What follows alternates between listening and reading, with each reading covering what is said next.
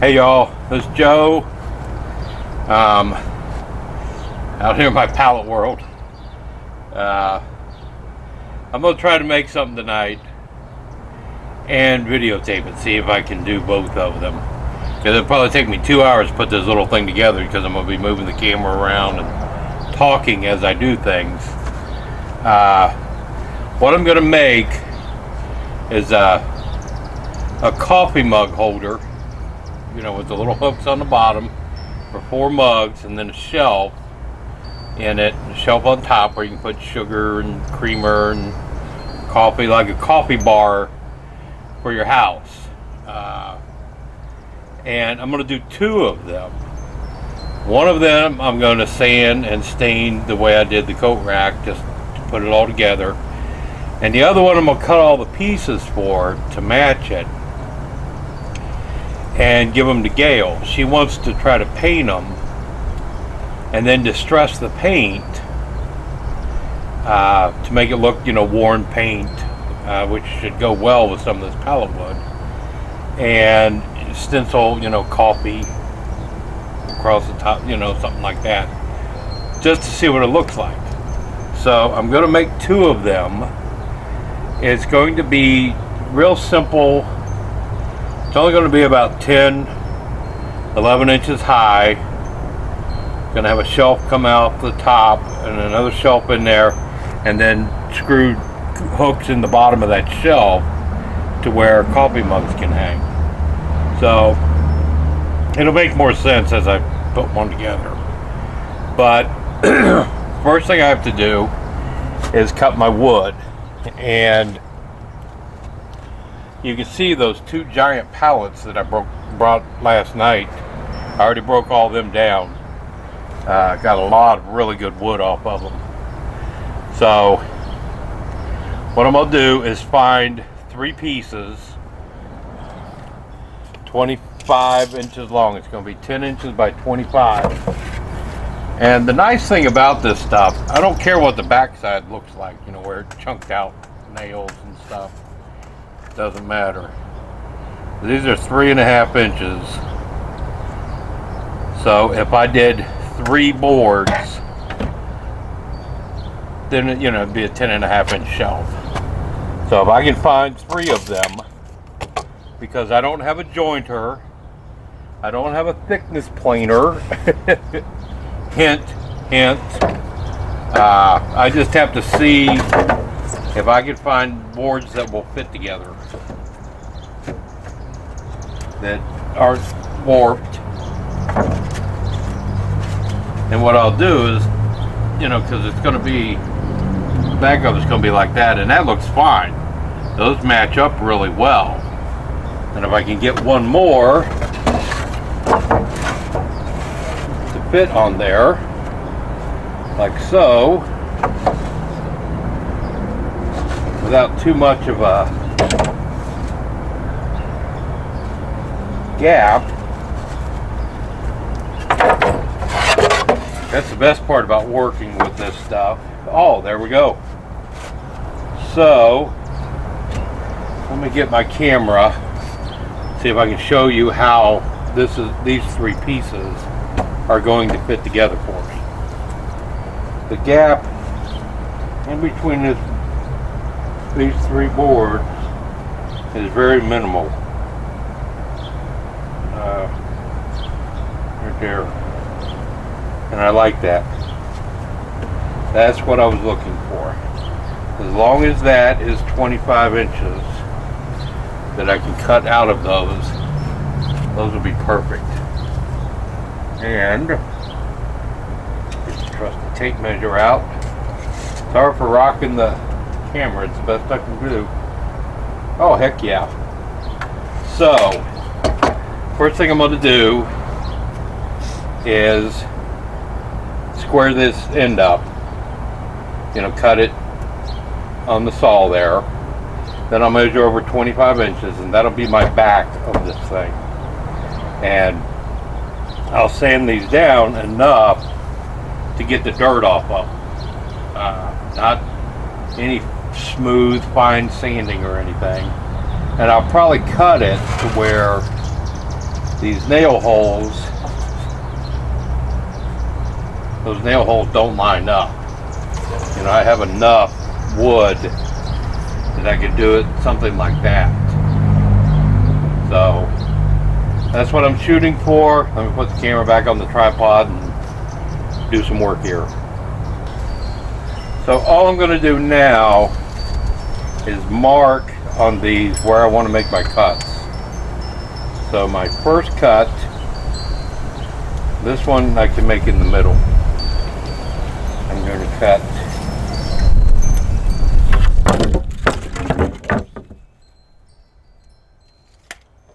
well, a little windy.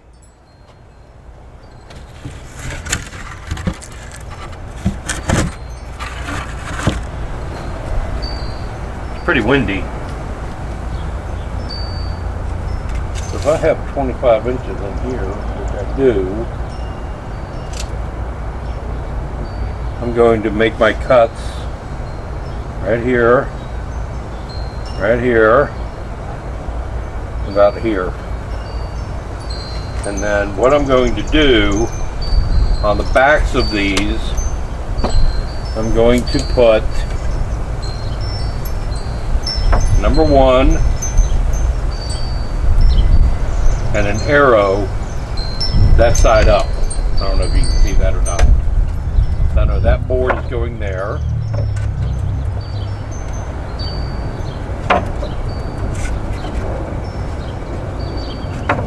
Number two, that arrow up.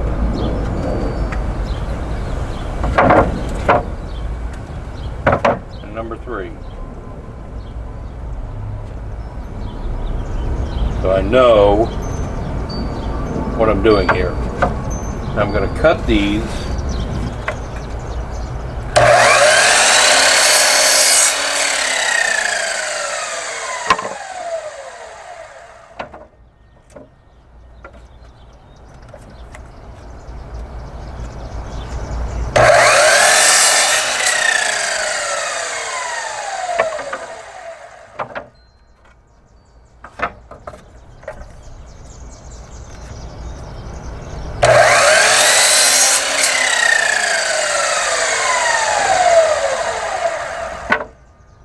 Now, I'll make my 25 inch cut.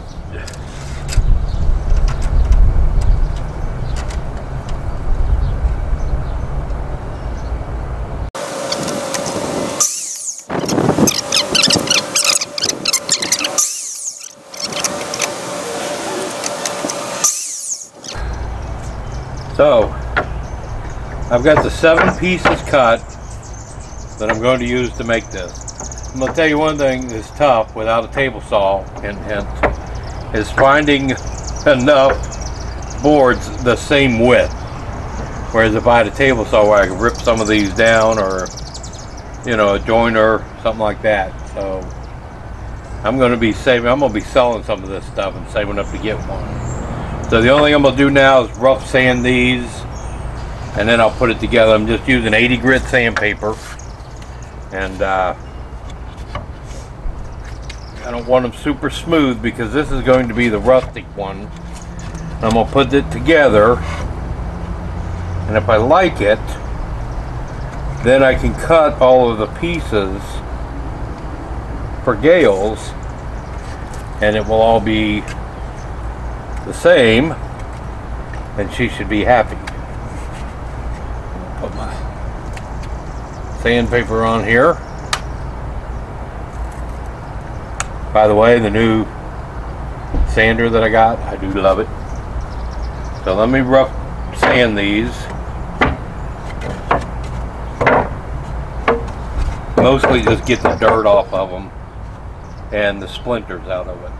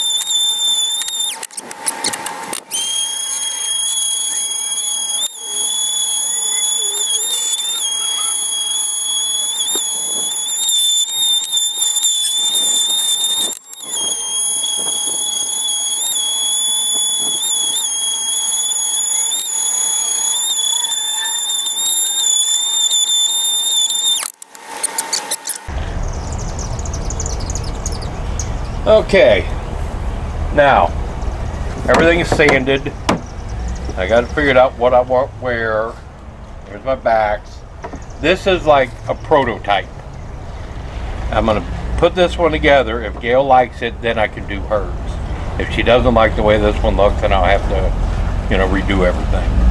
But I'm gonna show you how I put this together. Get my sander out of the way. You see I got the saw, I already put it up. I'm done with it. Uh, I'm going to use glue and brad nails. Use my brad nail that Alex bought me. Uh, and I'm going to use one and a quarter inch brads. And I'm still getting used to this thing, so uh, you know, occasionally I shoot one out the side. I'll have to watch that. But being brads, they're easy to just pull through. Uh, I've got my air hose.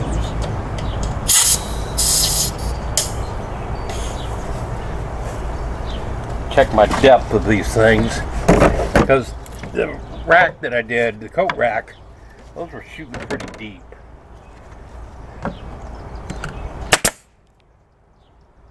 Yeah, that's deeper than I want to go.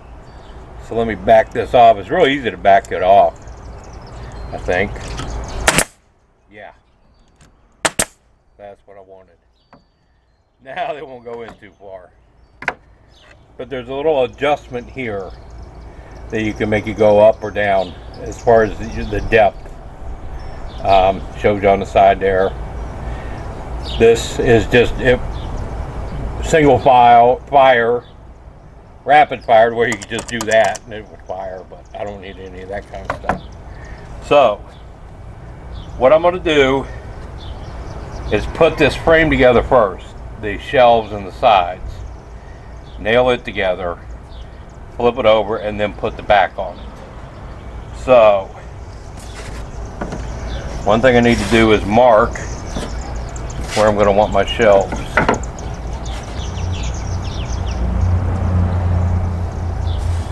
Glue.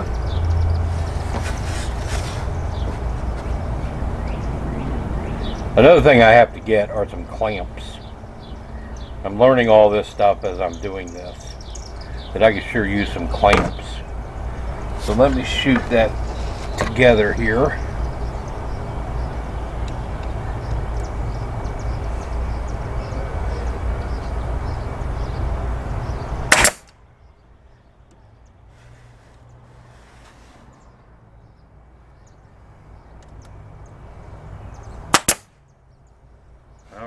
getting better with it.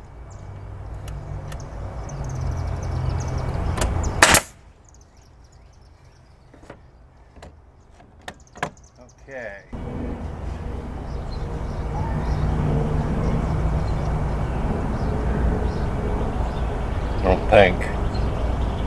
Let me shoot this side. Whoops. That's what I mean by a clamp.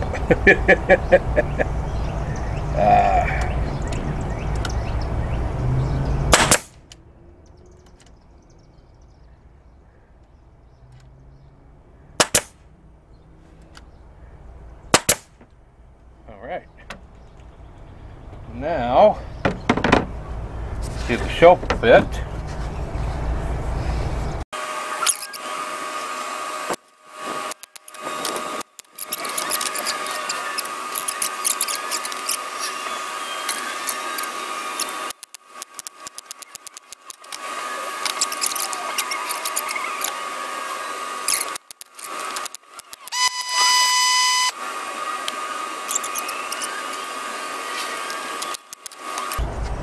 Look at that. Put some hooks there. And by golly, that's going to look pretty sharp.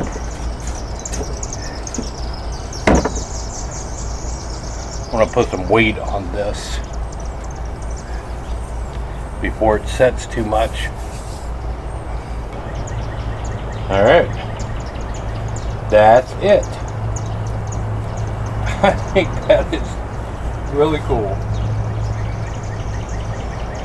But yeah, I'm going to cut it Well, no, I needed the shelves to be that wide, so they had to go. That doesn't look bad at all. I'm happy with that. I'll round that a little bit maybe when we stand the back of it. I like the cracks in there. The, the slats fit together good enough, but leave enough space to let you know that they were pallets. And that's all off of one pallet. And I got enough wood off of that one pallet to make four or five of these things. Uh, but you see what sanding the wood did. I mean, it just made it look new again. And I'll stain it now and see what that looks like. Hope y'all enjoyed that. I hope it wasn't too boring. and I promise you I'll get better as I go along. I'll show this tomorrow with, uh, you know, I'll wait to put this up until after I get it stained and the hooks on it and put a couple of cups there and stuff on it so it looks like how it's actually going to be used and see if Gail likes this. See y'all tomorrow. Alright, so there is the finished product. Not thrilled with that background, but at least it's something. uh, this is how it turned out. It's a very, put a very light stain on it. I wanted to keep it clean. Clean looking anyway. So it's very light oak with a satin finish. But that's the finished product. That's my coffee mug holder to uh, put up at your coffee bar. I like it. I'm happy with the way it turned out. We'll see how Gail's does with her colors. I'll be back.